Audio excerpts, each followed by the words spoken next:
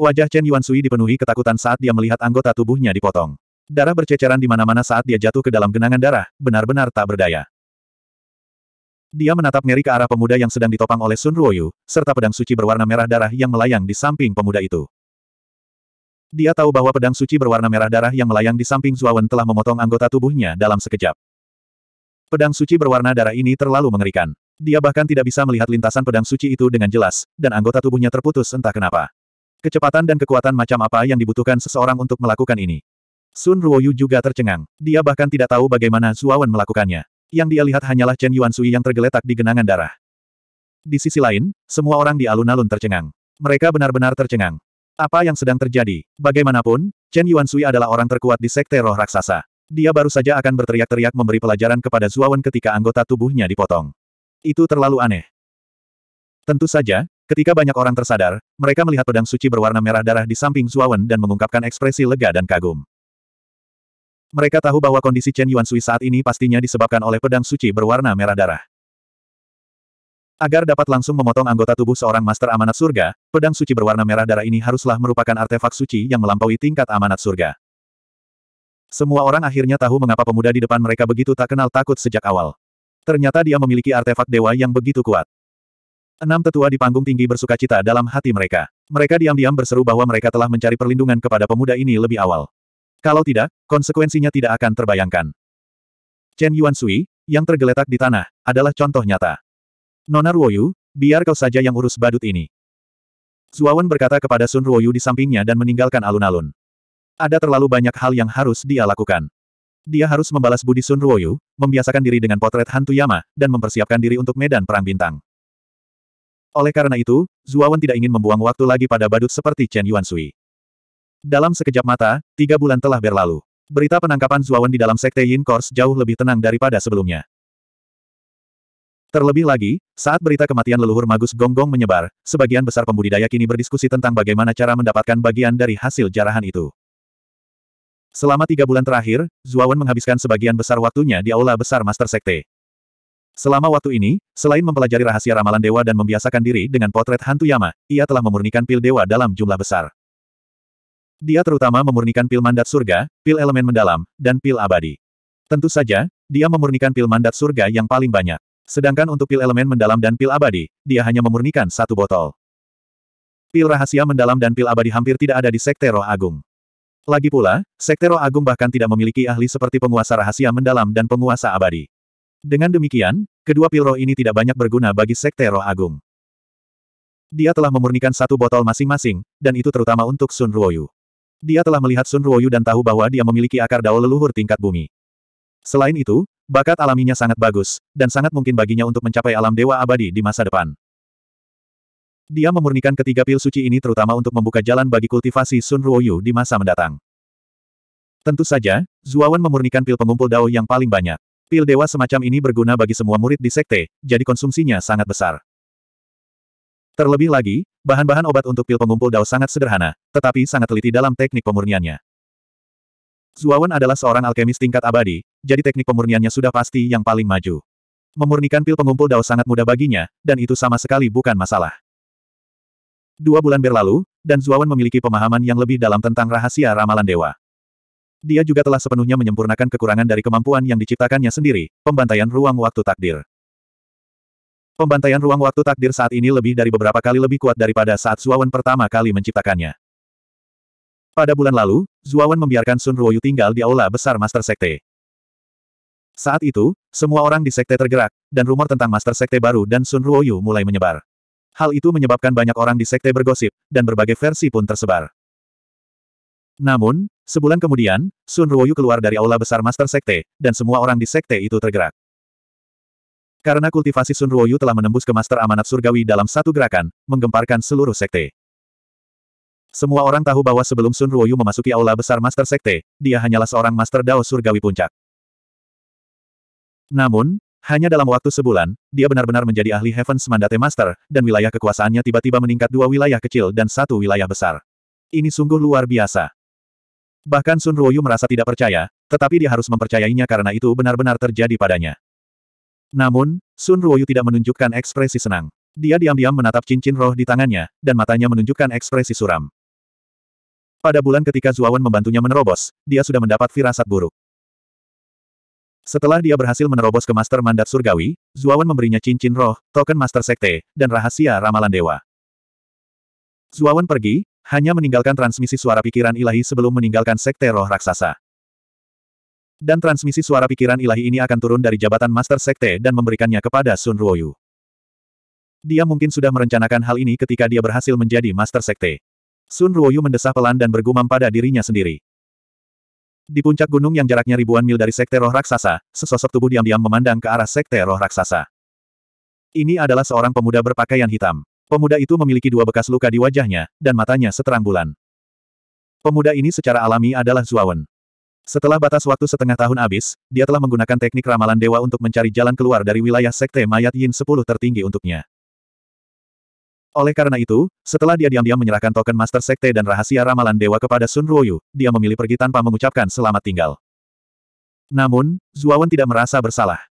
Dalam enam bulan terakhir, dia telah berbuat cukup banyak untuk Sekte Roh Raksasa, jadi dia memiliki hati nurani yang bersih. Mungkin saya tidak akan punya kesempatan untuk datang ke sini lagi di masa mendatang. Zuawan bergumam pada dirinya sendiri. Kemudian, sosoknya melesat dan menghilang dari puncak gunung. Permintaannya kepada Sun Ruoyu telah terbayar lunas. Dalam enam bulan terakhir, dia memang telah melakukan apa yang seharusnya dilakukan oleh Master Sekte. Selain itu, dia telah memurnikan sejumlah besar pil dewa dan memasang batasan susunan yang kuat di sebagian besar wilayah Sekte Roh Raksasa. Khususnya, arai pelindung Sekte besar milik Sekte Roh Raksasa. Di permukaan, itu tampak seperti arai besar mandat surga biasa, tetapi sebenarnya, ada dunia lain di dalamnya. Begitu arai agung mandat surga biasa hancur, ia akan mengaktifkan arai perlindungan Sekte Agung tingkat abadi yang tersembunyi di dalam arai agung biasa ini. Perlu diketahui bahwa mereka yang dapat memiliki arai perlindungan sekte besar tingkat abadi pada dasarnya adalah perlakuan terhadap kekuatan yang lebih kuat di tingkat Dao Mansion. Dapat dikatakan bahwa dengan lapisan-lapisan pembatasan susunan yang dimiliki sekte roh raksasa sekarang, pasukan biasa di tingkat Dao Mansion pasti akan menderita kerugian besar jika mereka ingin menyerang sekte roh raksasa. Bahkan jika kekuatan setingkat Dao Mansion menyerang sekte roh raksasa, mereka mungkin dapat menghancurkan sekte roh raksasa saat ini, tetapi mereka pasti harus membayar harga yang mahal. 2912. Setelah Zuawan meninggalkan Sekte Roh Raksasa, dia tidak langsung meninggalkan Sekte Mayat Yin 10 Ekstremitas. Sebaliknya, dia menuju ke Sekte Inti Sekte Mayat Yin 10 Ekstremitas. Dia sudah menghitung bahwa sebulan yang lalu, sebagian besar petinggi sekte, termasuk pemimpin sekte Seng Yin dan tetua agung Gao Yang Hong, sudah meninggalkan sekte dan menuju medan perang Star Wars. Dapat dikatakan bahwa sekte Yin Core 10 ekstremitas saat ini sedang dalam kondisi terlemahnya. Tentu saja, Zuawan tidak kembali ke Sekte Mayat Yin 10 ekstremitas demi Sekte Mayat Yin.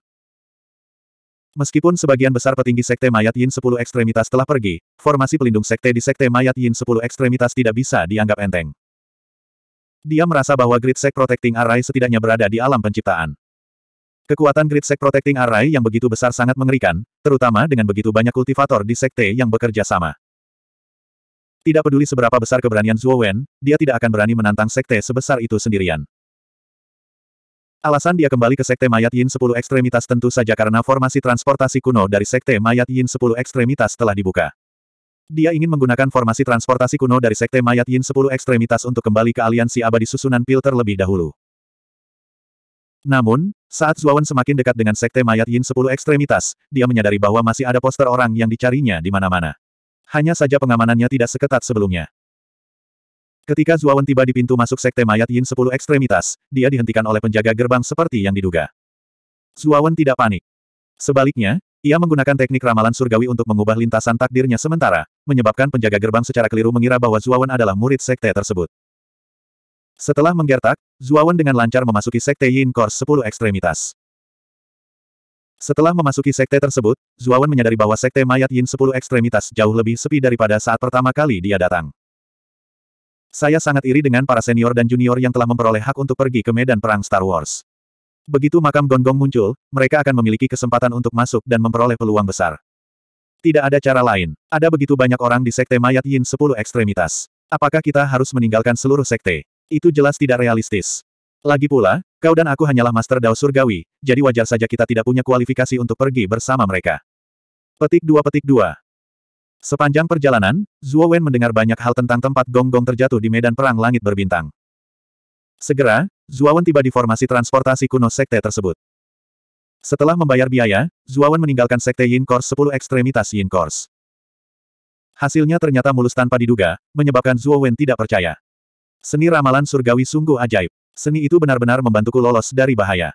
Namun, setiap kali aku menggunakan seni ramalan surgawi, seni itu akan menghabiskan umurku. Saat Zuowen bergumam pada dirinya sendiri, dia muncul dalam susunan transfer aliansi abadi susunan pil. Zuowen berjalan keluar dari susunan teleportasi dan segera mendengar suara yang dikenalnya. Eh. Master abadi Zuo, Anda akhirnya kembali. Saya mengirimi Anda banyak pesan, tetapi Anda tidak membalas. Ke mana saja Anda selama ini? Zuowen menoleh dan melihat seorang lelaki tua dengan ekspresi serius. Ia menatap Zuowen dengan heran. Zuowen tersenyum saat melihat lelaki tua itu. Lelaki tua ini tidak asing bagi Zuowen. Dia adalah salah satu dari lima Master Abadi Agung dari Aliansi Abadi Ar-Raipil, Huan Taiping. Dia juga merupakan Master Abadi yang memiliki hubungan terbaik dengan Zuawan. Saya sedang terburu-buru akhir-akhir ini, jadi saya tidak memperhatikan jimat giok komunikasi. Itulah sebabnya saya tidak tahu bahwa Master Abadi Huan mengirimi saya pesan. Zuawan menjawab dengan sopan. Tentu saja, Zuawan tahu bahwa Huan Taiping telah mengiriminya pesan. Namun, saat itu dia sedang dalam pelarian, jadi dia tidak punya waktu untuk membalas Huan Taiping. Kemudian, dia lupa tentang hal ini. Jadi begitulah adanya.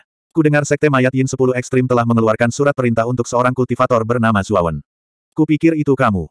Aku baru saja hendak menuju ke Sekte Mayat Yin 10 Ekstrim untuk memastikannya ketika kamu kembali.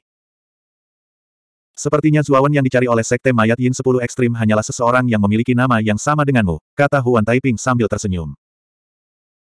Zuawan berkata dengan canggung, Tuan Abadi Huan, sebenarnya, Zuawan yang dicari oleh Sekte Mayat Yin 10 Ekstrim adalah aku. Ekspresi Huan Taiping membeku. Matanya terbelalak saat menatap Zuawan. Tidak mungkin, Sekte Yin Course 10 Ekstrim benar-benar kamu. Zuawan memaksakan senyum dan mengangguk. Sekte Mayat Yin 10 Ekstrim punya nyali. Kau adalah Master Abadi dari Aliansi Abadi Susunan Pil kami. Kau memiliki status tinggi, tetapi mereka berani mengeluarkan surat perintah untukmu. Master Abadi Zuo, mengapa Sekte Mayat Yin 10 Ekstrim mengeluarkan surat perintah untukmu? Ekspresi Huan Taiping menjadi serius. Zuawan menggelengkan kepalanya dan berkata, ceritanya panjang. Tidak nyaman membicarakannya di sini. Bawa aku menemui pemimpin aliansi terlebih dahulu. Masalah Sekte Mayat Yin 10 Ekstrim terkait dengan rahasia bunga mati. Zuawan tentu saja tidak akan membicarakannya begitu saja. Bukannya dia tidak percaya pada Huan Taiping, tetapi masalah ini terlalu penting. Dia berencana untuk membicarakannya setelah bertemu Ji Wuming. Baiklah, pemimpin aliansi ada di aliansi abadi. Aku akan mengantarmu ke sana. Huan Taiping melihat bahwa Zuawan merasa sulit untuk membicarakannya, jadi dia tidak bertanya lebih lanjut. Dia segera membawa Zuawan ke gua tempat tinggal Ji Wuming. Dalam perjalanan, Zuawan bertanya kepada Huan Taiping tentang tempat gong-gong terjatuh, dan mengetahui bahwa berita ini diketahui hampir setiap rumah tangga di daerah tuan rumah, sehingga menimbulkan keributan besar. Konon kabarnya, berita tersebut sengaja disebarkan oleh ketua Sekte Mayat Yin 10 Ekstrim, Seng Yin. Yang lebih mengejutkan Zuawan adalah berita ini tidak hanya tersebar luas di wilayah tuan rumah, tetapi juga di tiga wilayah sila lainnya di wilayah surgawi Suanmi. Bahkan suku-suku asing di sisi lain medan perang langit berbintang sangat antusias dengan berita ini. Karena berita inilah, banyak sekali ahli dari empat daerah sila domain surgawi Suanmi, serta para ahli dari suku-suku asing di sisi lain medan perang langit berbintang, berkumpul di medan perang langit berbintang. Tuan Abadi Huan, aliansi abadi susunan pil kita tidak berencana mengirim orang ke medan perang langit berbintang. Zuawan bertanya dengan heran. Huan Taiping menggelengkan kepalanya dan berkata, aliansi abadi susunan pil kita hanyalah sekelompok orang yang memurnikan pil dan memasang susunan. Kekuatan tempur kita pada umumnya sangat rendah. Kita hanya akan menjadi umpan meriam jika kita pergi ke sana. Namun, pemimpin aliansi memiliki banyak teman kultivator. Dia memberitahu teman-temannya bahwa jika mereka dapat menemukan obat-obatan dan bahan-bahan suci yang berharga di tempat Gong-Gong meninggal, mereka harus membawanya kembali. Zuawan mengangguk, tetapi dia tenggelam dalam pikirannya. Dia merasa Seng Qiyin seharusnya sengaja membocorkan berita ini. Mengenai alasannya, Zuawan juga mengetahui dari Ghost Lume bahwa tujuannya adalah agar para kultivator lain bisa menanggung risikonya. Konon, saat Seng Qiyin mengetahui tempat meninggalnya Gonggong, ia tak berani mengambil risiko untuk masuk sendirian. Jika bahkan seorang ahli Master Heavenly Domain tahap awal seperti Seng Qiyin takut dengan tempat ini, itu pasti bukan tempat yang baik. Memikirkan hal ini, Zuawan tidak terburu-buru untuk pergi ke medan perang langit berbintang. Dia yakin bahwa kelompok pembudidaya pertama yang masuk bukanlah Seng Qiyin atau kekuatan besar lainnya yang mengetahui tentang cerita di dalam. Mereka biasanya adalah pembudidaya nakal yang tidak tergabung dalam sekte mana pun. Mereka jelas merupakan umpan meriam bagi kekuatan besar untuk dieksplorasi. Bagaimanapun, Ghost Lume adalah anak haram Seng Qiyin. Dia tahu banyak tentang rencana Seng Qiyin, terutama tentang tempat di mana Gong Gong meninggal. 2913 Kota kuno kegelapan merupakan tempat paling misterius dan mengerikan di medan perang Star Wars. Saat itu, di kota gelap, Sen Qiyin melihat jari gonggong menyapu matanya dari jarak jauh. Terlebih lagi, ke mana pun jari itu lewat, airnya menderu dan berubah menjadi lautan tak berbatas. Meskipun Seng Qiyin hanya melihat jari itu, dia dapat menebak bahwa itu adalah jari gonggong. Gonggong adalah penguasa kekuatan air di antara dua belas dukun leluhur. Dia adalah sumber semua kekuatan air. Hanya dengan jentikan jarinya, dia mampu mengubah tempat itu menjadi lautan luas. Selain leluhur Magus Gonggong, tidak ada orang lain yang bisa melakukan itu. Setelah Seng menebak bahwa itu adalah jari dukun leluhur Gonggong, ia menyadari bahwa mungkin ada mayat Gonggong yang utuh di kota kuno kegelapan. Ini pasti tempat Gonggong jatuh. Saat itu, Seng telah mengejar jari itu sampai ke kota kuno kegelapan. Namun, karena ia telah pergi terlalu dalam dan kedalaman kota kuno kegelapan terlalu mengerikan, Seng Qiyin akhirnya menyerah setelah mempertimbangkan untung dan ruginya. Ini karena dia bisa merasakan adanya kekuatan di kedalaman kota kuno kegelapan yang membuatnya sangat waspada. Meskipun dia bisa masuk dan menjelajah jika dia mau, dia harus membayar harga yang sangat mahal. Seng Qiyin bukanlah orang yang akan melakukan hal-hal yang tidak ia yakini, jadi pada akhirnya ia tidak masuk terlalu dalam ke kota kuno yang gelap. Sebaliknya, ia mengambil inisiatif untuk mundur. Saat itu, Zuawan telah mengetahui dari Ghost Lume bahwa kota kuno kegelapan adalah tempat gong-gong jatuh. Setelah mengetahui bahwa itu hanya tebakan Seng Qiyin, dia tidak dapat menahan diri untuk tidak mengutuk. Seng Qiyin benar-benar jahat. Orang ini dengan jelas mengatakan bahwa lokasi yang dia tahu adalah tempat gong-gong jatuh. Bahkan dia hampir mempercayainya. Sekarang setelah dia mengetahui bahwa itu hanya tebakan Seng Qiyin, itu benar-benar penipuan yang keterlaluan. Itulah sebabnya Zuawan tidak segera bergegas ke medan perang Star Wars setengah tahun kemudian. Sebaliknya, ia datang ke Pil Array Immortal Alliance terlebih dahulu. Lagi pula, Zuawan sudah tahu bahwa lokasi itu adalah kota kuno kegelapan, dan mungkin bukan tempat di mana penyihir leluhur Gonggong jatuh. Karena itu, Zuawan tidak terlalu cemas. Menurutnya, setiap orang yang memasuki kota kuno kegelapan tidak memiliki arah yang jelas, dan masih belum diketahui apakah mereka dapat menemukan mayat dukun leluhur Gonggong. Para petani yang masuk lebih awal tak lebih dari sekadar umpan meriam. Zuawan dan Huan Taiping mengobrol sambil berjalan. Dari Huan Taiping, Zuawan belajar banyak tentang kejadian dan perkembangan terkini. Di sini, Huan Taiping membawa Zuawan ke gua Ji Wuming. Di ruang tamu, Ji Wuming berdiri di sana dengan kedua tangan terlipat di belakang punggungnya, seolah-olah dia tahu seseorang akan datang menjemputnya. Tuan Aliansi. Zuawan dan Huan Taiping menangkupkan tangan mereka dan memberi hormat pada Ji Wuming. Ji Wuming menoleh dan menatap Zuowen dan Huan Taiping sambil tersenyum. Apa yang bisa kulakukan untuk kalian berdua? Sebenarnya seperti ini. Huan Taiping melangkah maju dan menceritakan semua masalah Zuo Wen secara rinci. Ji Wuming mengangkat alisnya, menyipitkan matanya, dan berkata dengan dingin, Sekte Mayat Yin 10 Ekstrim benar-benar berani. Beraninya mereka menangkap seorang master abadi dari aliansi abadi Arai Pil kita.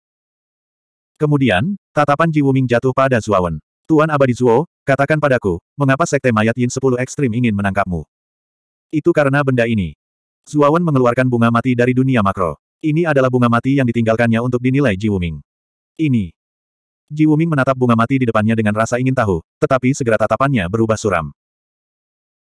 Ini adalah bunga mati, hasil eksperimen tak berperi kemanusiaan Sekte Mayat Yin 10 Ekstrim selama bertahun-tahun. Saya memiliki informasi tentang penelitian bunga mati oleh Sekte Mayat Yin 10 Ekstrim. Kemudian, Zuawan mengeluarkan semua kepingan giok yang diperolehnya dari ruang bawah tanah rahasia Sekte Mayat Yin 10 Ekstrim dan menyerahkannya kepada Ji Wuming.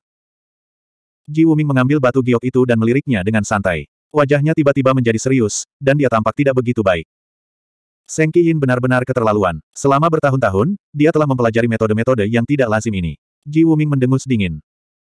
Master Aliansi, neraka kegelapan dikendalikan oleh Sekte Mayat Yin 10 ekstremitas. Sebagian besar kultivator yang masuk ke sana mati dengan kejam. Kemudian, mayat para kultivator yang meninggal dibawa pergi oleh Sekte Mayat Yin 10 ekstremitas untuk mempelajari bunga orang mati. Zuawan menangkupkan kedua tangannya dan melanjutkan, menurutku, Ketua Aliansi harus mengumumkan masalah ini ke seluruh dunia dan mengungkap tindakan Ketua Sekte Mayat Yin 10 Ekstrim, Seng Qiyin.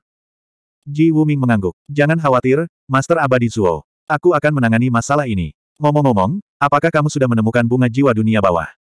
Zuawan tidak banyak berpikir. Dia mengangguk sedikit, mengeluarkan bunga jiwa dunia bawah, dan menyerahkannya kepada Ji Wuming. Ji Wuming sangat puas dengan bunga jiwa dunia bawah dan berkata, sekarang, aku akan memurnikan pil ilahi kondensasi jiwa delapan pemandangan untuk orang kepercayaanmu. Ngomong-ngomong, ketua aliansi, di mana Wu Xiang sekarang? Tanya Zuawan. Oh, aku telah menempatkannya di pavilion di sudut barat laut Immortal Alice. Ada orang-orang di sana yang akan menjaganya. Jangan khawatir, kata Ji Wuming. Saya harap ketua aliansi dapat membawa saya menemuinya. Kata Zuawan dengan suara yang dalam. Aku masih perlu menyempurnakan pil ilahi kondensasi jiwa delapan pemandangan. Aku akan membawamu ke sana setelah selesai. Kata Ji Wuming ringan. Zuawan sedikit mengernyit dan menangkupkan kedua tangannya. Kalau begitu aku akan menunggu di sini sampai ketua aliansi menyempurnakan pil ilahi kondensasi jiwa delapan pemandangan. Ji Wuming menatap Zuowen dalam-dalam dan mengangguk, baiklah, Aku hanya butuh waktu setengah hari untuk menyempurnakan pil ilahi kondensasi jiwa delapan pemandangan. Kamu bisa menunggu di sini selama setengah hari. Taiping, kamu bisa kembali dulu. Huan Taiping menangkupkan kedua tangannya dan mengucapkan beberapa patah kata kepada Zuawan. Kemudian dia pergi. Ji Wuming memberitahu Zuawan agar tidak mengganggunya dan langsung pergi ke ruang dalam untuk memurnikan pil. Zuawan diam-diam duduk bersila di samping, menunggu Ji Wuming. Zuawan tidak memberitahu Ji Wuming tentang diagram hantu Yama. Bagaimanapun, itu adalah artefak ilahi tingkat surga. Dia tidak akan dengan santai memberitahu Ji Wuming tentang hal itu untuk menghindari masalah yang tidak perlu. Setengah hari kemudian, Ji Wuming keluar dari ruang dalam dan berkata, Tuan Zuo, sekarang saya akan membawa Anda menemui Moyan Wushang. Ini adalah pil ilahi kondensasi jiwa delapan pemandangan. Ambillah dan berikan kepada Moyan Wushang. Zuo Wen mengambil pil dewa kondensasi jiwa delapan pemandangan dari Ji Wuming dan merasakan gelombang kekuatan obat. Di permukaan pil dewa kondensasi jiwa delapan pemandangan, ada delapan pola warna yang berbeda. 2914 Sudut barat laut dari pil Array Immortal Alliance merupakan tempat yang relatif terpencil di Alliance. Namun, di sudut barat laut yang terpencil ini, ada sebuah pavilion yang sangat mewah. Namun, karena sudut barat laut terlalu terpencil, sulit untuk melihat siapa pun di sana. Meskipun tempat ini terpencil, lingkungannya bagus. Ada pavilion, teras, air terjun, dan pohon-pohon yang menjulang tinggi. Begitu Zuawan memasuki tempat ini, dia tidak bisa menahan diri untuk tidak mengangguk dalam hatinya. Meskipun tempat ini agak terpencil, lingkungannya sesuai dengan keinginannya. Tempat ini seperti surga. Tempat ini dipilih oleh Taiping. Apakah Tuan Zuo puas? Ji Wuming, yang berdiri di kepala alat terbang ilahi, bertanya ketika dia melihat ekspresi terkejut di wajah Zuawan. Meskipun tempat ini agak terpencil, lingkungannya bagus. Saya sangat puas. Tuan Huan sangat perhatian. Zuawan mengangguk. Ji Wuming mengangguk dan menunjuk ke pavilion di kejauhan. Aku telah menempatkan Moyan Wuxiang di pavilion itu. Kau pergi dan beri dia pil ilahi kondensasi jiwa delapan pemandangan. Dan... Zuo Wen terkejut saat melihat Ji Wuming ingin mengatakan sesuatu. Ji Wuming selalu memberinya kesan bahwa dia tenang dan tidak tergesa-gesa, seolah tidak ada yang bisa membuatnya khawatir. Sekarang, keraguan Ji Wuming benar-benar mengejutkan Zuawan. Ketua aliansi, jika ada yang ingin kau katakan, kau bisa langsung mengatakannya kepadaku. Kata Zuawan dengan suara yang dalam. Ji Wuming mengangguk dan berkata dengan tenang, apakah kamu sudah memberitahu seseorang tentang bunga mati? Zuawan terkejut, tetapi dia tidak terlalu memikirkannya. Dia menggelengkan kepalanya dan berkata, setelah aku melarikan diri dari Sekte Mayat Yin 10 Ekstrim, aku terus melarikan diri. Aku langsung kembali ke aliansi abadi Arraipil. Masalah ini sangat penting, jadi tentu saja aku tidak bisa membicarakannya dengan santai.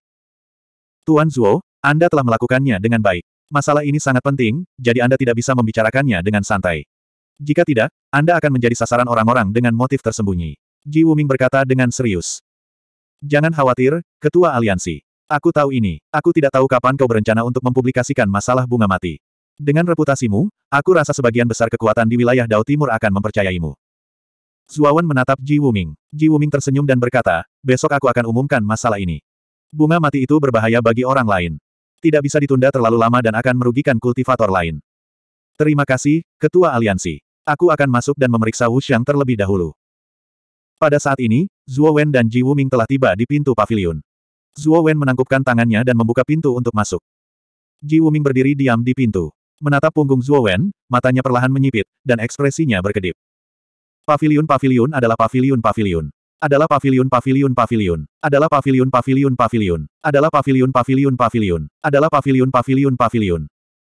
Sekilas, Zuo Wen melihat peti mati kristal yang diletakkan di tengah pavilion. Di dalam peti mati itu terbaring seorang wanita cantik yang tampak seperti putri tidur. Zuo Wen melangkah ke depan peti mati dan membuka tutupnya. Dia berkata dengan lembut, Wu Shang, meskipun aku tidak bisa menyelamatkanmu dengan segera, aku sedang memikirkan sebuah cara. Aku pasti akan membangunkanmu. Setelah itu, Zuawan mengeluarkan pil dewa pemusatan jiwa pemandangan delapan dan memberikannya kepada Moyan dari Wushang. Setelah menelan pil konsolidasi jiwa ilahi pemandangan delapan, wajah pucat Moyan Wuxiang tiba-tiba berubah kemerahan. Zuawan dapat dengan jelas merasakan aura Moyan Wuxiang semakin kuat. Dia tidak lagi lemah seperti sebelumnya. Saat kesadaran Zuawan memindai jiwa Moyan Wuxiang, jiwa yang longgar di tubuhnya telah menjadi jauh lebih padat. Ini hanyalah pil dewa kondensasi jiwa delapan pemandangan, dan sudah ada efek yang signifikan. Jika Moyan dari Wuxiang benar-benar menyerap efek pil tersebut, efeknya akan lebih baik. Melihat kulit Moyan dari Wuxiang semakin membaik, hati Zuawan merasa lega sepenuhnya. Dia tahu bahwa setelah Moyan dari Wuxiang menyerap pil dewa kondensasi jiwa delapan pemandangan, jiwanya akan menjadi sangat padat. Bahkan jika dia tidur selama seribu tahun, sepuluh ribu tahun, atau bahkan lebih lama, jiwanya tidak akan runtuh secara alami. Karena satu-satunya hal yang harus dilakukan Zuawan adalah membantu Moyan dari Wuxiang memulihkan enam keinginan yang hilang pada tingkat jiwa. Dan untuk melakukan ini, dia harus memurnikan pil ilahi kondensasi jiwa enam keinginan. Setelah mengira bahwa pil ilahi kondensasi jiwa enam keinginan adalah pil ilahi tingkat surga, Zuawan merasa sedikit getir, tetapi dia tidak patah semangat. Dia tahu bahwa pada dasarnya mustahil baginya untuk memurnikan pil ilahi kondensasi jiwa enam keinginan sekarang, tetapi dia percaya bahwa bukan tidak mungkin baginya untuk memurnikannya di masa mendatang. Tentu saja, tujuan utamanya sekarang adalah untuk menemukan enam bahan utama tingkat surga untuk pil ilahi kondensasi jiwa enam keinginan. Setelah jiwa Moyan dari Wuxiang benar-benar stabil, Zuawan merasa lega dan mengembalikan Moyan dari Wuxiang ke dunia besar.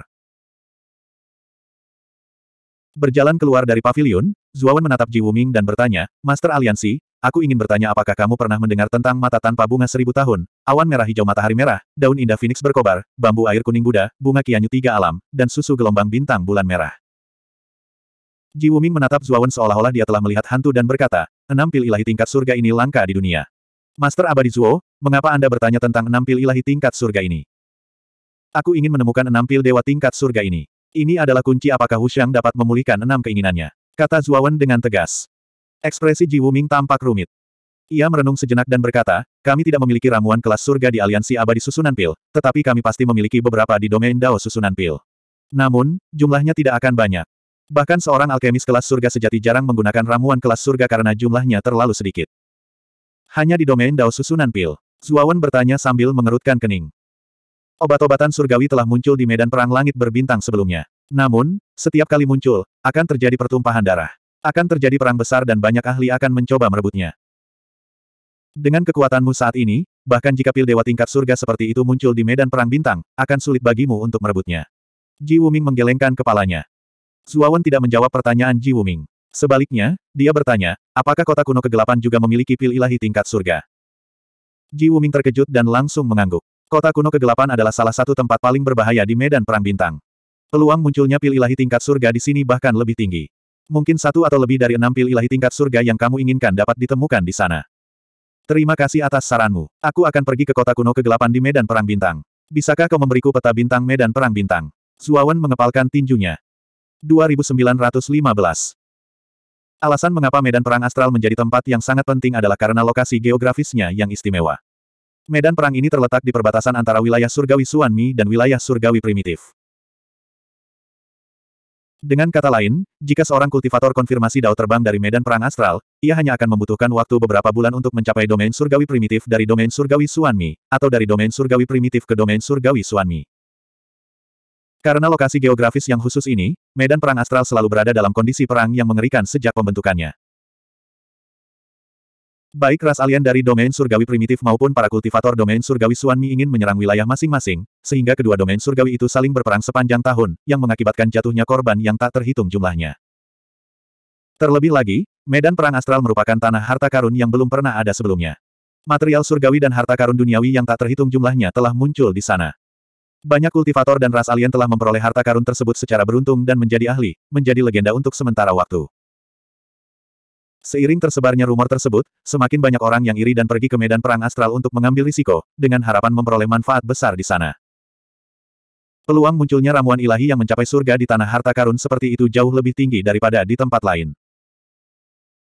Ji Wuming menatap Zuawan dalam-dalam dan berkata, Aku pikir kamu sudah tahu bahwa penyihir leluhur Gong meninggal di kota kuno kegelapan, jadi kamu ingin memasuki kota kuno kegelapan untuk mencoba peruntunganmu. Kau harus berpikir dengan hati-hati. Kota kuno kegelapan jauh lebih berbahaya daripada area biasa di medan perang astral. Bahkan seorang ahli seperti Seng Yin tidak akan berani memasuki kedalaman kota kuno kegelapan sendirian. Zuawan mengepalkan tangannya dan berkata, Aku tahu apa yang kulakukan. Aku harap ketua aliansi dapat memberiku peta medan perang astral. Ji Wuming melihat bahwa Zuawan telah mengambil keputusan, jadi dia tidak mengatakan apa-apa lagi. Dia hanya menyerahkan selembar batu giok kepada Zuawan dan berkata, ini adalah peta medan perang astral. Karena sifat khusus dari medan perang astral, mustahil untuk membangun susunan transmisi di area itu. Jika Anda ingin memasuki medan perang astral, Anda harus menggunakan alat ilahi terbang.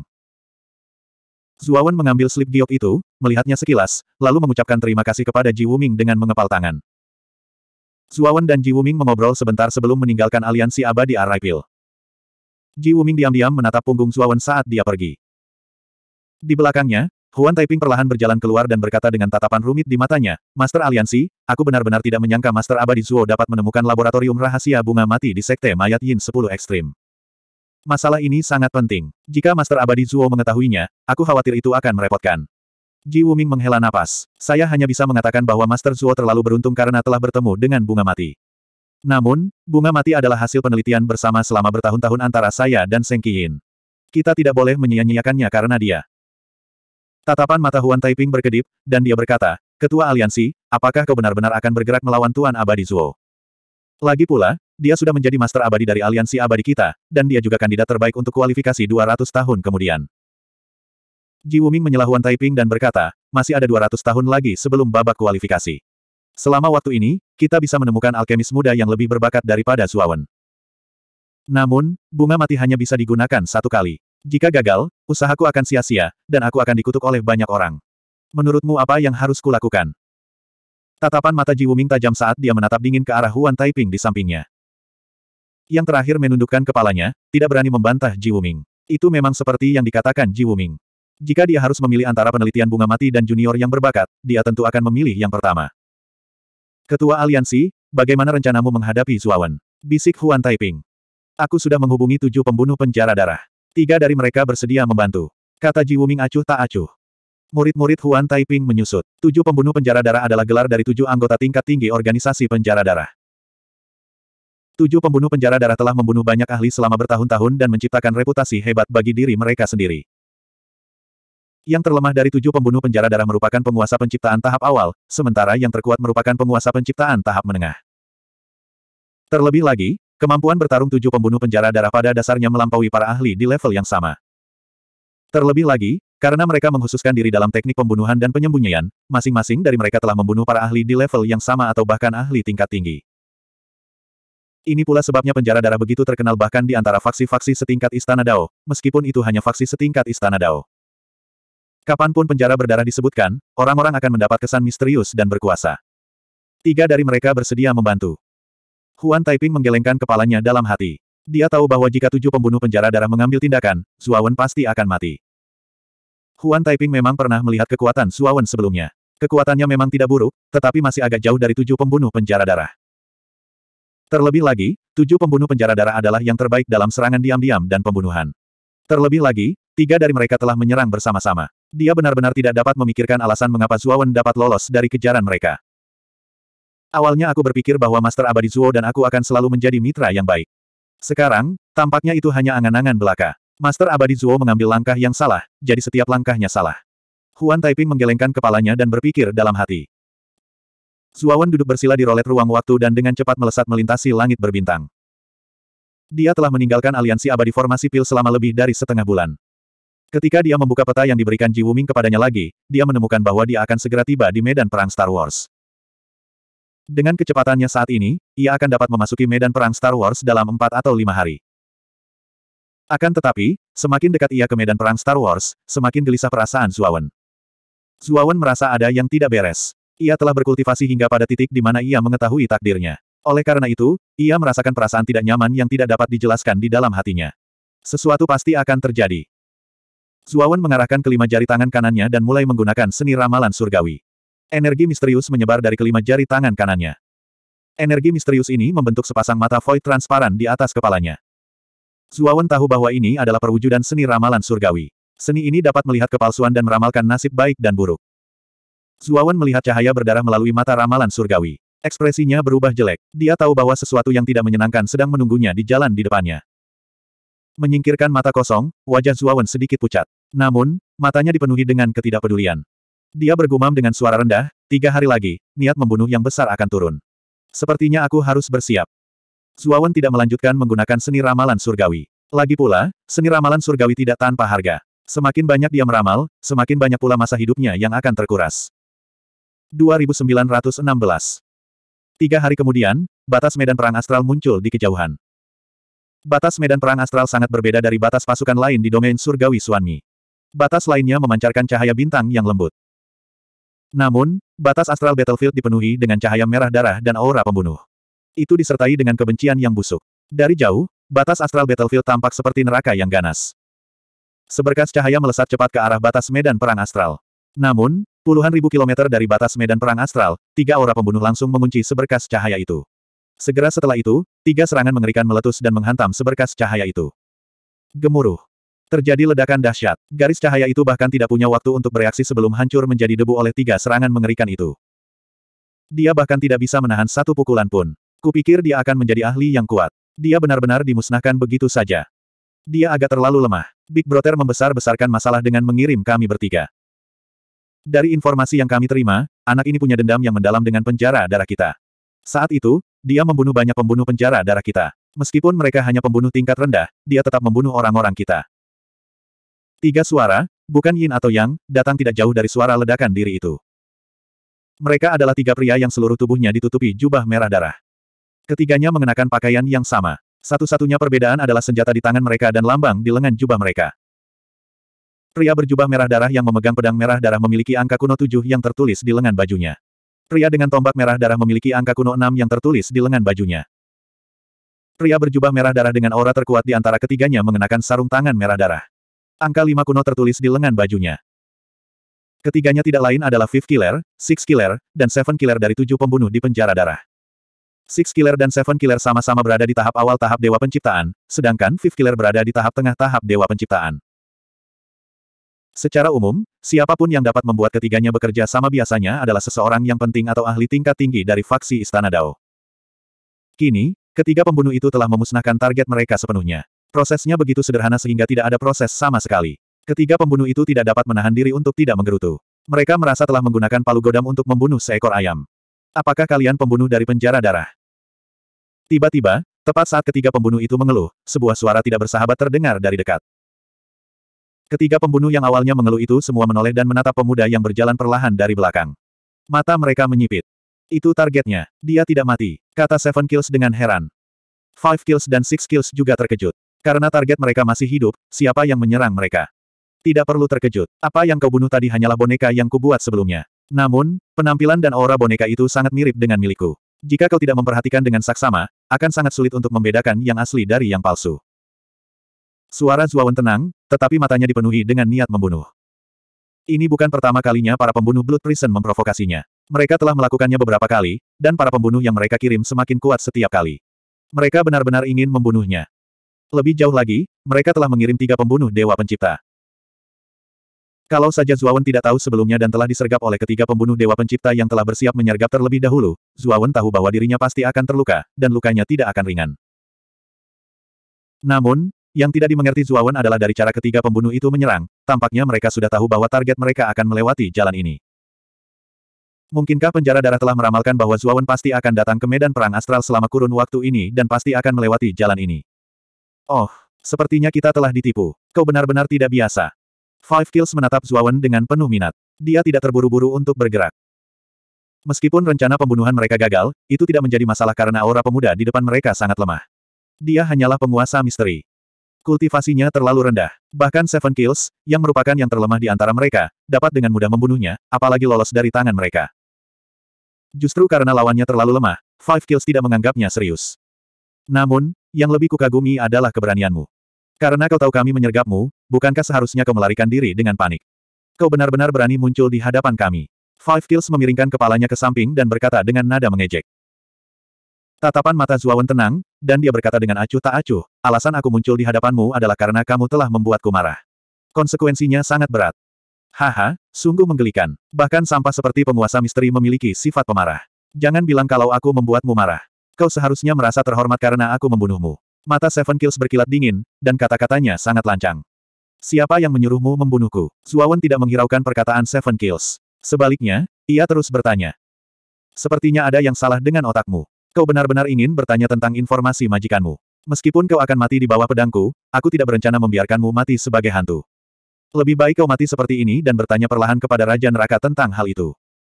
Seven Kills menjilat bibirnya. Pada akhirnya, dia tidak bisa menahan diri lagi dan menyerang dengan berani. Dia memegang pedang merah darah dengan kedua tangan dan mengayunkannya dalam lintasan misterius. Cahaya merah darah membumbung tinggi ke langit, dan itu menakutkan seolah-olah langit dan bumi runtuh. Saat cahaya merah darah menyinarinya, Zuawan merasakan tekanan besar pada tubuhnya, seolah-olah ada gunung besar yang menekannya. Akan tetapi, tekanan ini tidak ada apa-apanya bagi Zuawan, yang telah mengolah tubuh suci Pangu. Dia hanya perlu mengedarkan kekuatan tubuh suci Pangu di dalam tubuhnya untuk sepenuhnya mengimbangi tekanan besar ini. Namun, penampilan Zuawan tidak seperti itu. Wajahnya pucat, dan dahinya dipenuhi keringat dingin. Seolah-olah dia menahan tekanan yang sangat besar. Ketika Seven Kills melihat ekspresi enggan Zuawan, matanya penuh dengan kebanggaan.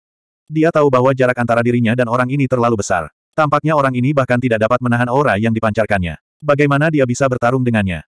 Betapa membosankannya. Kupikir kau akan lebih kuat dari Lord of Mystery pada umumnya dan bisa bermain denganku sedikit lebih lama. Sekarang, tampaknya kau benar-benar sampah. Kau sama sekali tidak berguna. Seven Kills tertawa keras, dan serangannya telah mendarat di tubuh Zuawan. Harus dikatakan bahwa Seven Kills memang sangat berbahaya. Dia menebas dahi Zuawan dengan satu pedang, dan selangkangan Zuawan dengan pedang lainnya. Karena mereka menebas pada saat yang sama, dan kecepatannya tepat. Namun, Zuo Wenming hanya bisa menghalangi satu bagian tubuhnya. Jika dia menghalangi ruang di antara kedua alisnya, dia akan bisa menyelamatkan hidupnya. Namun, aura kejantanannya akan hilang sepenuhnya. Jika dia menghalangi selangkangannya, Zuo Wenming juga akan hilang. Zuawan menyipitkan matanya. Si tujuh pembunuh ini benar-benar sombong. Dia ingin menggunakan cara ini untuk menggodanya dan mempermalukannya. Suara mendesing. Us, dua lampu pedang muncul dari belakang Zuawan. Pedang darah abadi dan pedang pengorbanan kematian langsung menangkis dua pedang Seven Kills. Pedang darah abadi dan pedang pengorbanan kematian telah mengalami kemajuan pesat. Dengan bantuan makam pedang dan banyak biji serta material, keduanya telah menjadi senjata ilahi tingkat abadi. Itu lebih dari cukup untuk memblokir serangan biasa Seven Kills. Saat mereka menangkis serangan Seven Kills, cahaya pedang lain melesat dari belakang Zuawan. Dengan kekuatan guntur dan api yang mengerikan, cahaya itu langsung menyapu ke bagian bawah kaki Seven Kills. Kemudian, dari bawah ke atas, cahaya itu melesat ke selangkangan Seven Kills. 2917 Terdengar teriakan yang mengerikan. Liu Sa mencibir dan berkata dengan acuh tak acuh, dia memang orang yang tidak berguna.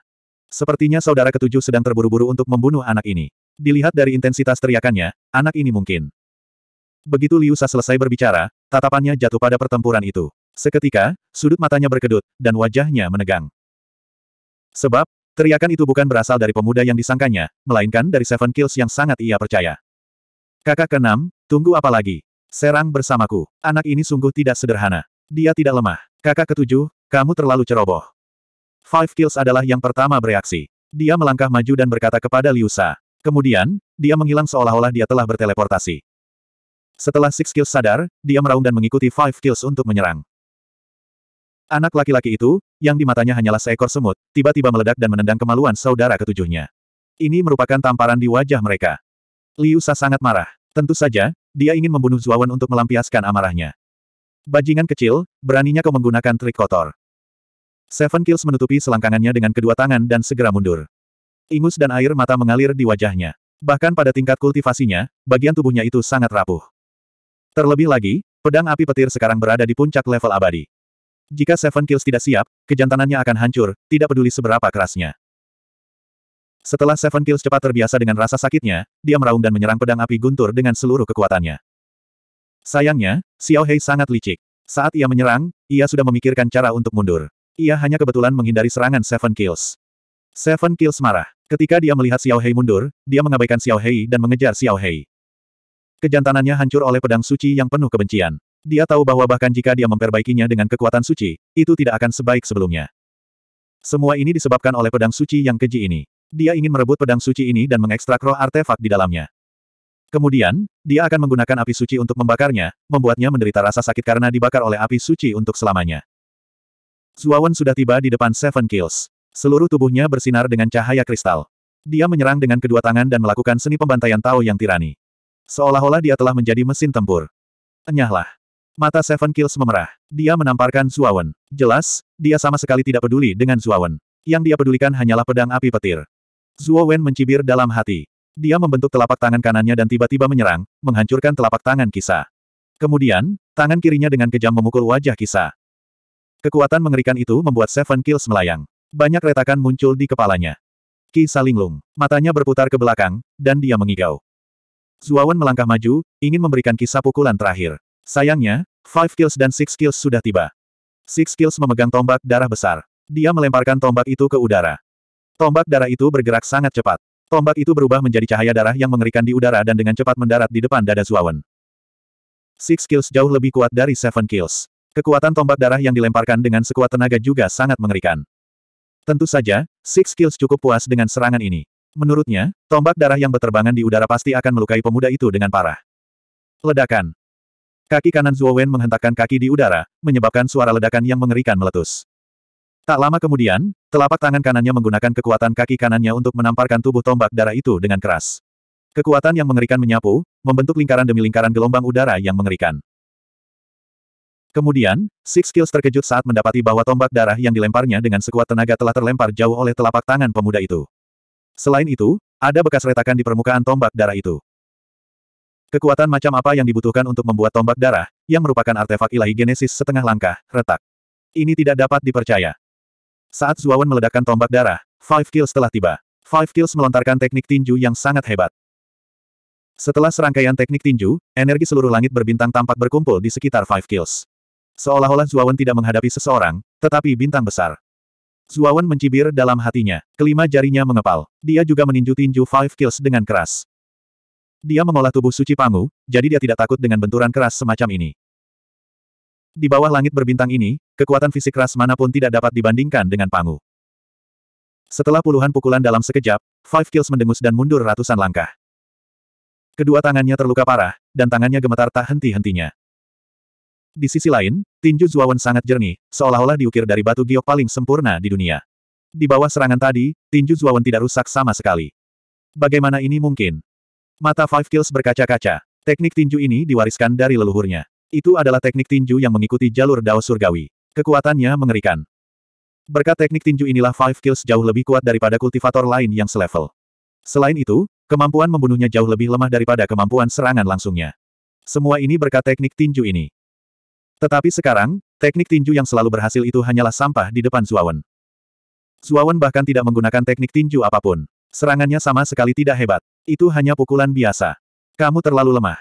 Tatapan mata Zuawan tenang. Ia melangkah maju dan terus menyerang Five Kills. Ia masih meninju tanpa gerakan aneh. Five Kills merasa kesal dengan kata-kata Zuawan. Dia mengerahkan teknik tinjunya secara ekstrim. Teknik itu tampaknya telah melampaui ruang dan waktu. Kekuatannya berkali-kali lipat lebih kuat dari sebelumnya. Kamu sudah sedikit membaik. Zuawan melancarkan pukulan. Dia setara dengan Five Kills. Matanya penuh dengan keterkejutan. Wajah Five Kills tampak muram. Dia berteriak, kakak keenam, apa yang kau tunggu? Ayo dan habisi orang ini bersama-sama. Six Kills sudah tidak jauh lagi. Dia sudah menyingkirkan tombak darahnya. Dia terkejut melihat Five Kills ditekan oleh Zuawan.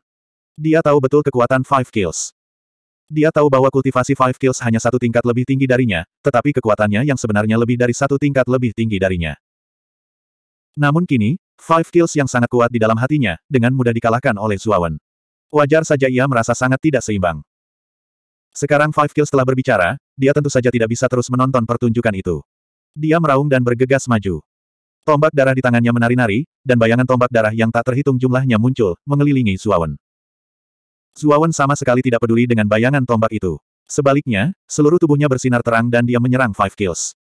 2918 Beraninya kau mengabaikan seranganku. Melihat Zuawan sama sekali mengabaikan serangannya, wajah Six Kills tiba-tiba menjadi gelap. Jelas, ketidakpedulian Zuawan merupakan penghinaan terbesar baginya. Namun, tatapan kejam segera muncul di matanya. Serangannya mungkin tidak sekuat Five Kills, tetapi jika dia ingin melawan tanpa bertahan, dia harus membayar harga yang sangat mahal. Wah! Siluet tombak yang tak terhitung jumlahnya mendarat di tubuh Zuo Wen, menyebabkan sosok Zuo Wen yang sedang menyerang terhuyung-huyung. Kecepatannya melambat saat siluet tombak meninggalkan bekas putih di tubuhnya. Namun, hanya itu saja. Setelah Zuawan menahan gelombang serangan tombak ini, dia tidak melambat dan bergegas menuju Five Kills lagi. Six Kills tercengang. Serangannya hanya meninggalkan bekas putih di tubuh Ye Futian. Serangannya bahkan tidak bisa menyebabkan luka. Ini terlalu mengejutkan. Bang! Bang! Bang! Zuawan kembali bertabrakan dengan Five Kills. Kekuatan tubuh suci Pangu Bintang 5 meledak tanpa henti. Dia juga menggunakan teknik pembantaian Tao Tirani secara ekstrim, membuatnya tampak seperti mesin tempur yang menakutkan. Semakin Five Kills bertarung, semakin dia ketakutan. Luka-luka di tubuhnya juga semakin mengerikan. Dia mulai merasa takut. Pada saat ini, Zuo Wen seperti gunung yang menjulang tinggi yang berdiri di depannya, membuatnya merasa seperti sedang ditekan dan tercekik. Pada saat yang sama, dia mengutuk majikannya dalam hatinya. Dia telah meremehkan kekuatan targetnya. Kalau saja dia tahu targetnya begitu menakutkan, dia akan membutuhkan setidaknya salah satu dari tiga Seven Kills teratas untuk bekerja sama dengan mereka. Sejujurnya, jajaran mereka tidak cukup untuk orang ini. Ah! Five Kills hanya merasakan nyeri di lengan kanannya. Kemudian, ia menemukan bahwa lengan kanannya telah dirobek oleh Zuawan. Rasa sakit yang hebat membuatnya berteriak tanpa sadar. Five Kills benar-benar ketakutan. Ia mulai mundur, tetapi segera menyadari bahwa ia tidak punya jalan keluar. Ia telah sepenuhnya dikepung oleh pemuda di depannya. Ia hanya bisa melawan. Melarikan diri hanya akan membuatnya mati lebih cepat. Ayo berjuang. Setelah menyadari tidak ada jalan keluar, Five Kills mengerahkan segenap tenaga dan mulai melawan Zuawan sampai mati. Aku sudah cukup bermain denganmu. Aku tidak akan bermain lagi.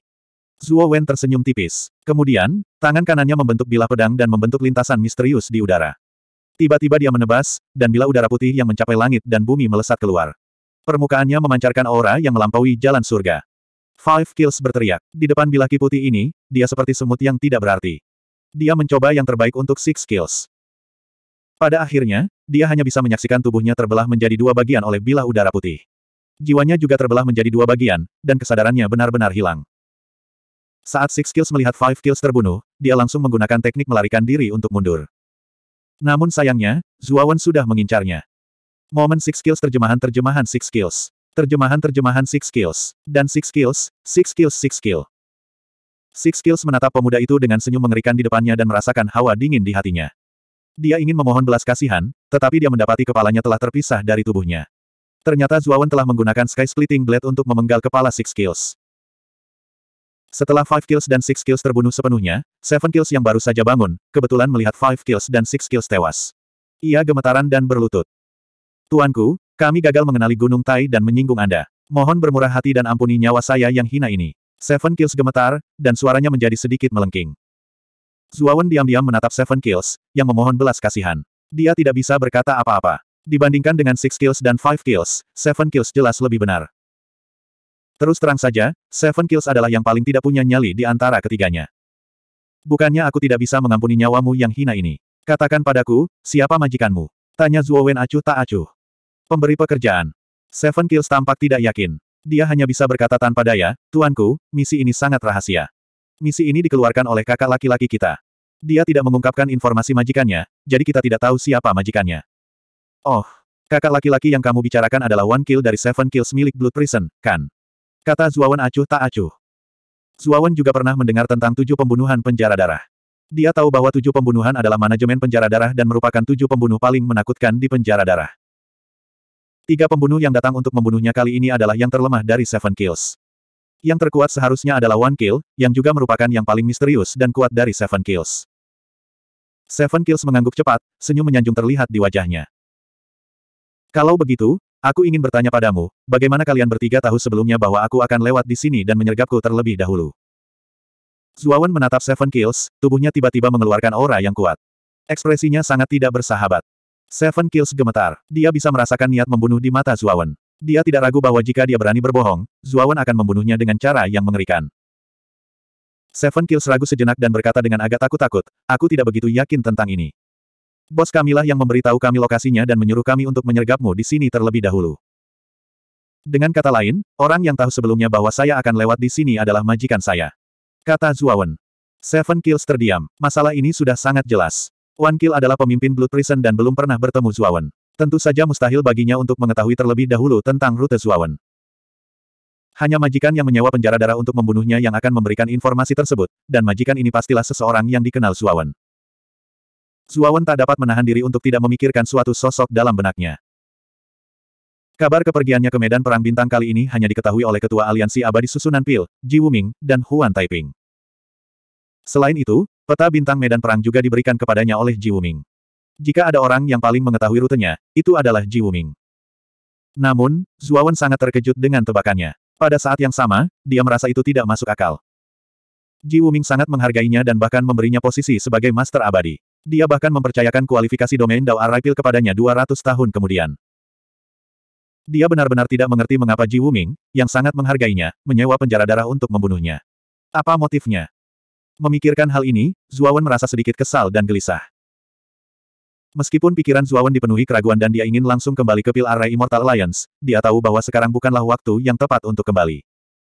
Terlebih lagi, dia sudah tiba di medan perang bintang. Tidak perlu kembali hanya untuk menanyakan pertanyaan seperti itu.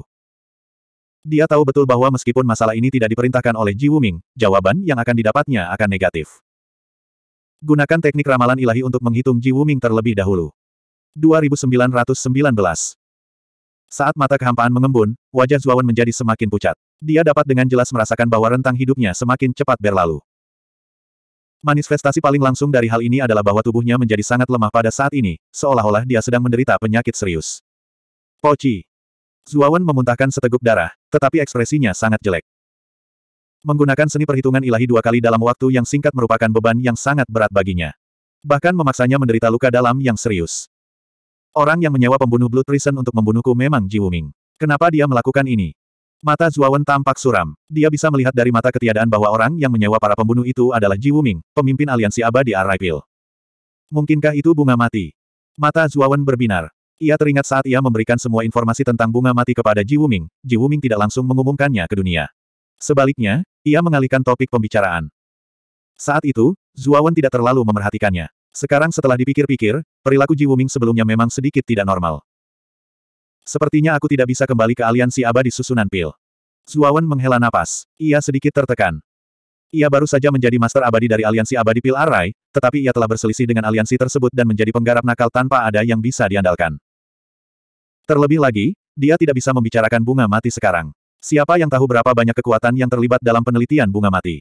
Mungkin jika dia keceplosan, itu akan menyebabkan bencana. Kemudian, kerugiannya akan lebih besar daripada keuntungannya. Terlebih lagi, dia telah memberikan semua informasi tentang bunga mati kepada Ji Wuming. Tanpa informasi ini, dia hanya bisa membicarakannya secara lisan tanpa bukti apa pun.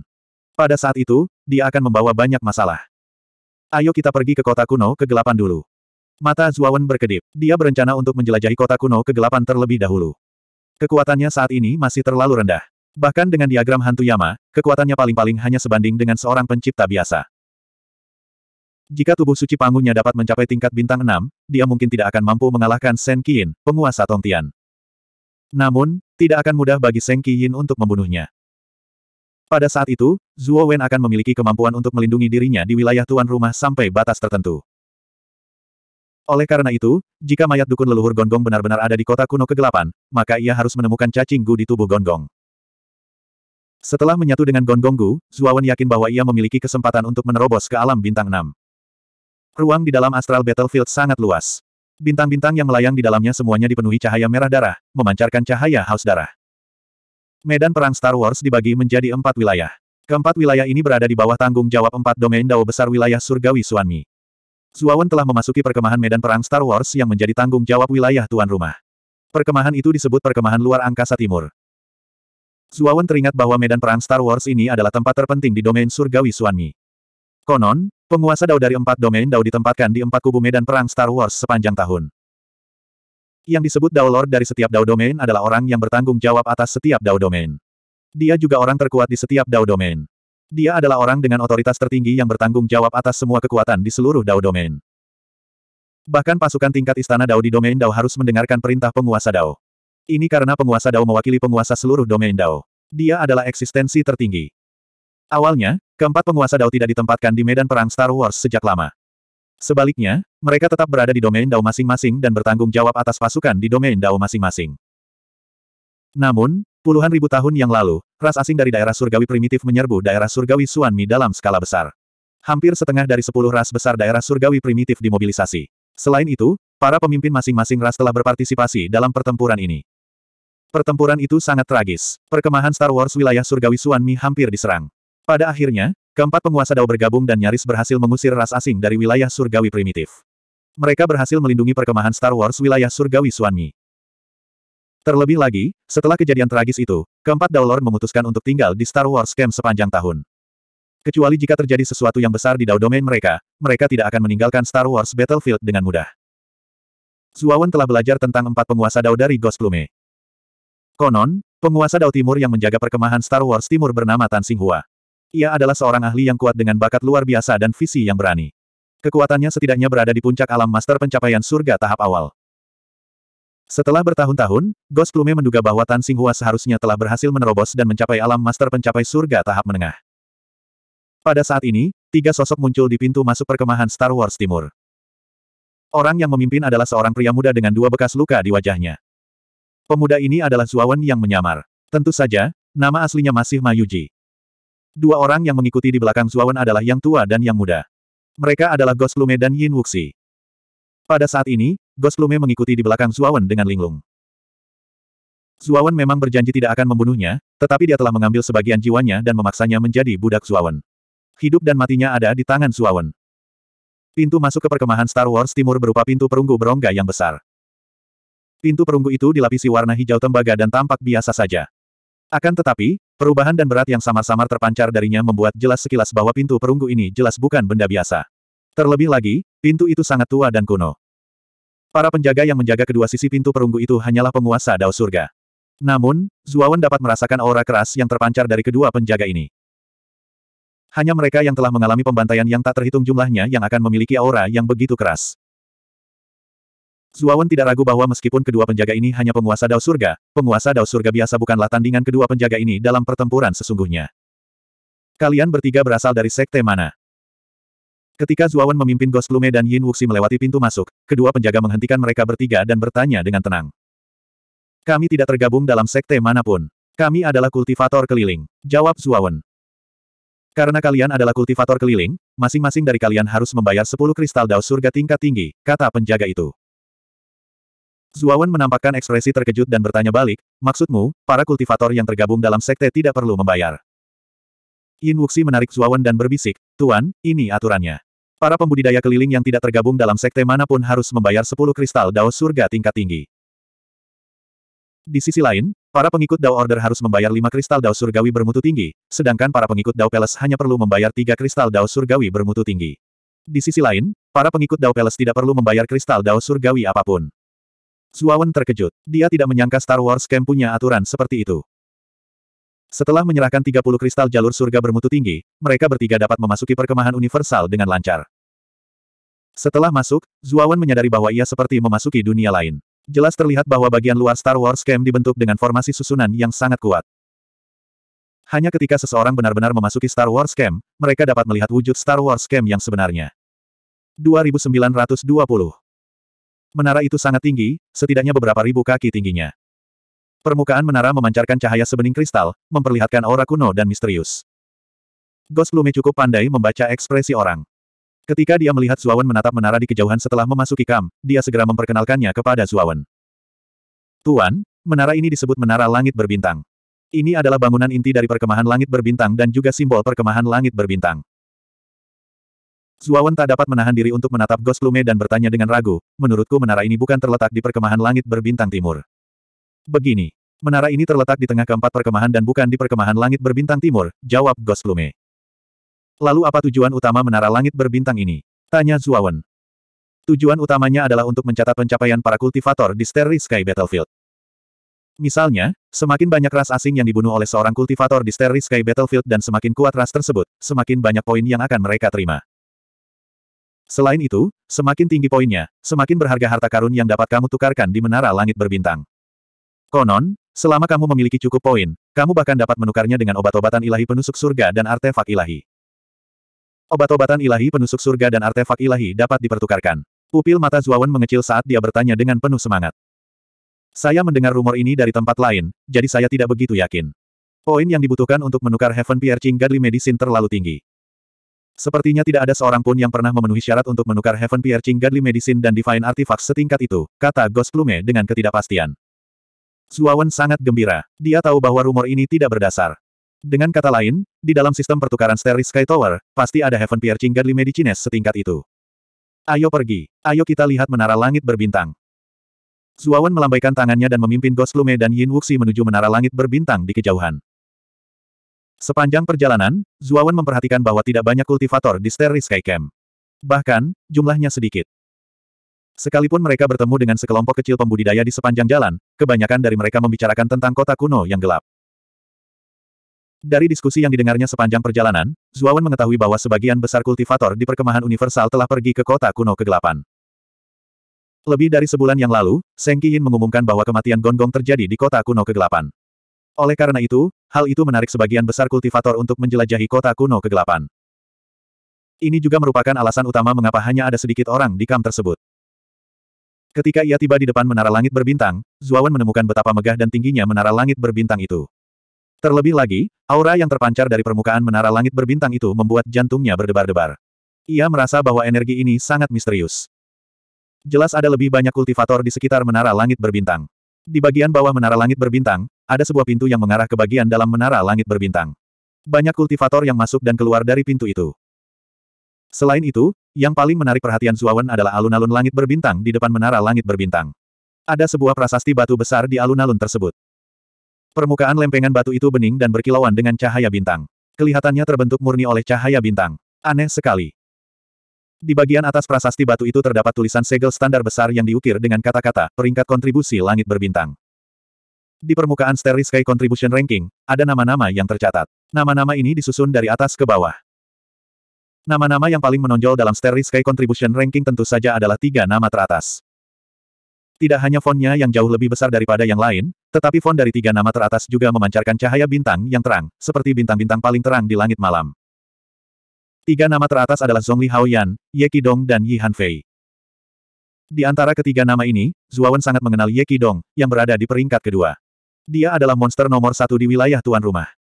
Zuawan telah bertemu dengannya beberapa kali di Danau Bulan Biru, gua tempat tinggal gumpalan hantu sekte mayat Yin Sepuluh Ekstremitas.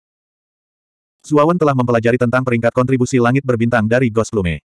Peringkat tersebut disusun berdasarkan kontribusi generasi muda yang berpartisipasi dalam medan perang langit berbintang.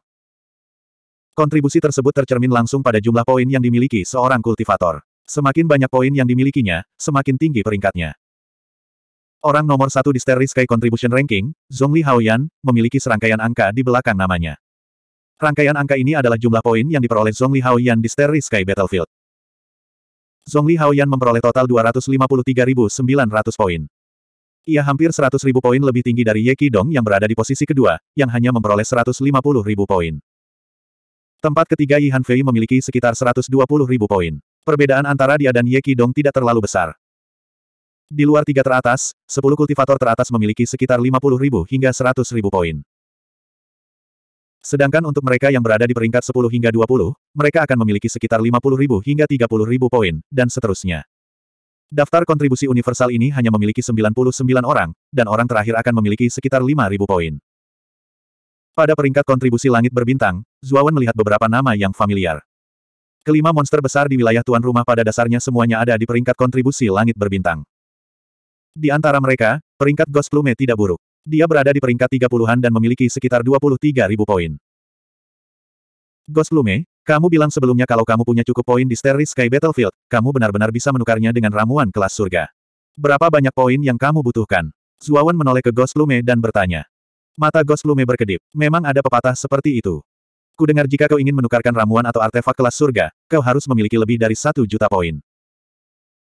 Zhongli Haoyan, peringkat pertama dalam Starry Sky Contribution Ranking, hanya memiliki sekitar 250 ribu poin. Jika Anda membutuhkan lebih dari satu juta poin untuk ditukar dengan ramuan kelas surga, bukankah itu berarti tidak ada seorang pun yang pernah berhasil menukar ramuan kelas surga? Zuawan terdiam. Dia merasa bahwa persyaratan Ghost Plume terlalu berat.